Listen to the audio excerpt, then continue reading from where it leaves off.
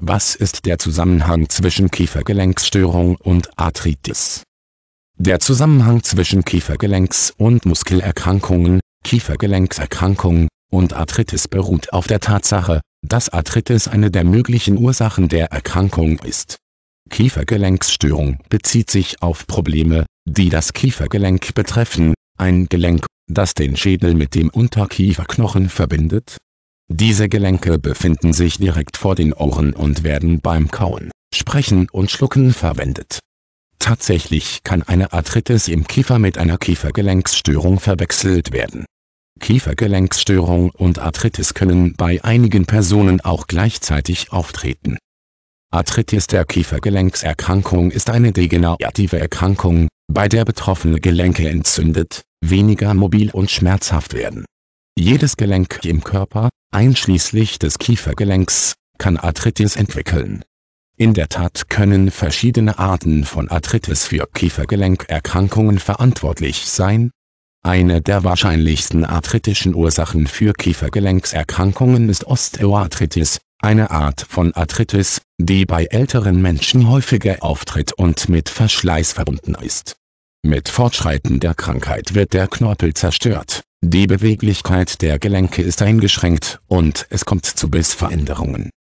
Rheumatoide Arthritis, die entweder mit Lupus assoziiert ist oder von selbst auftritt, ist auch eine Ursache für Kiefergelenksstörungen und Arthritis. Wenn die Rheumatoide Arthritis beginnt, den Kiefer zu beeinflussen, hat dies normalerweise bereits alle anderen Gelenke des Körpers betroffen. Der Zustand kann dazu führen, dass die Zähne falsch ausgerichtet werden, und in schweren Fällen kann der Kieferknochen miteinander verschmelzen, was das Öffnen des Mundes oder das Essen extrem erschwert. Obwohl selten, ist traumatische Arthritis eine weitere mögliche Ursache für Kiefergelenkerkrankungen. Der Zustand kann durch Ziehen an den Zähnen oder durch ein anderes stumpfes Krafttrauma im Kiefer verursacht werden die Symptome einer temporomandibulären Gelenkstörung und Arthritis lassen sich möglicherweise nur schwer von allgemeinen Symptomen der temporomandibulären Gelenkstörung unterscheiden.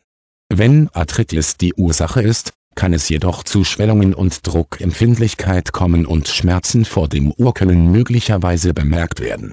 Der Schmerz wird normalerweise auch beim Zusammenballen, Kauen oder bei anderen Aktivitäten, die eine Bewegung des Kiefers erfordern, verstärkt. Beim Klicken auf die Backe wird das Klauenklopfen oft als Schleif, Gitter oder Knallgeräusch bezeichnet, was darauf hinweist, dass die Gelenke betroffen sind.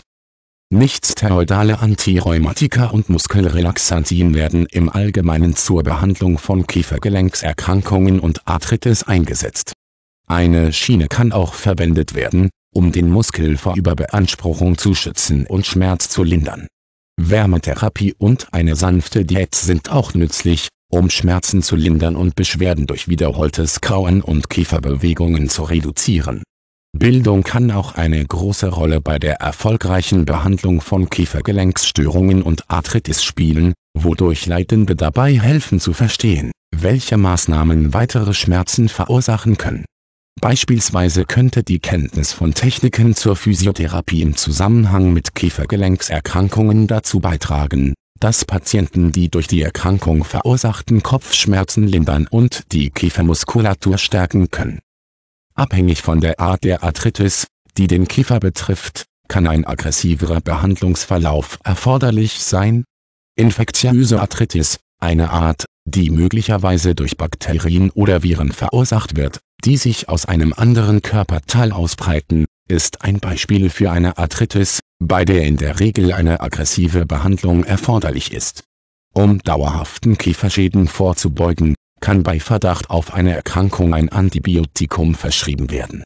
Häufig wird die Arthritis-Behandlung begonnen, bevor Laborergebnisse vorliegen, die den Zustand oder die Art der auftretenden Infektion bestätigen Letztendlich wird die richtige Diagnose und Behandlung von Kiefergelenksstörungen und Arthritis wahrscheinlich darauf beruhen, dass medizinische Experten, die sich auf Gesichtsschmerzen spezialisiert haben, um Hilfe bitten.